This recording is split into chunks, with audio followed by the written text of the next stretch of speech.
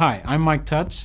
I'm an experimental particle physicist at Columbia University, and I work also at the Large Hadron Collider, and I'm here to tell you about the Higgs particle. So why should you be interested in the Higgs particle? Well, the Higgs particle tells us why elementary particles get their mass. How do they get their weight? And you might say, well, why do I care about that? Well, the reason you care about that is because if elementary particles didn't have uh, any weight and they were massless, well, you wouldn't be able to form an atom. And if you can't form an atom, you can't form molecules. And if you can't form a molecule, I wouldn't be here talking to you. There's a Higgs field everywhere in space, right now, with you, around me, everywhere. And it's that interaction of the elementary particles with the Higgs field that gives rise to their mass.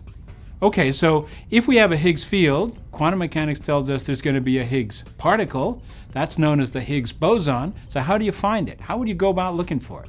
Well, we have this huge detector working at the world's highest energy accelerator, which accelerates protons on protons at an energy of 8 TeV, 8 trillion electron volts. Once we do that and the particles collide, they collide inside our detector.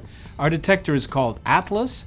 It's huge. It's about the size of an eight-story building, and it's twice as long as that. It's got a large number of different uh, particle detectors inside it. In fact, it's got about 100 million pixels. 100, think of it as 100 million channels of electronics, or like a 100 megapixel camera. You might not be impressed with a 100 megapixel camera, but the reason you should be impressed is that our camera actually takes as much as 40 million pictures per second. So we take 100 billion protons coming from one direction, 100 billion protons coming from the other direction. They pass through each other.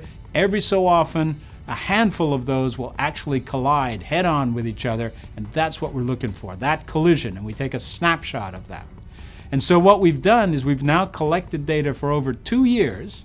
So we've taken trillions and trillions of collision events, and out of those sifted through them to get what is now, at best, a handful of events that might potentially be a Higgs particle. So how come it's called a God particle? Why did people do that? Well, uh, it, it, arose because a, a, rather famous physicist by the name of Leon Lederman, a Nobel Prize winner, wrote a book called The God Particle. And the way he tells the story is originally, because people have been looking for this particle for the last 40 years, his original thought was, I'd like to call this book The Goddamn Particle. But his editors said, no, that probably isn't such a good name, so why don't we call it The God Particle? And the reason that you can say that it's called that is, as I mentioned, that that's the thing that lets us, that lets part elementary particles have mass, that leads to atoms, that leads to us. So in that sense, our existence is due to the fact that there is such a Higgs particle around.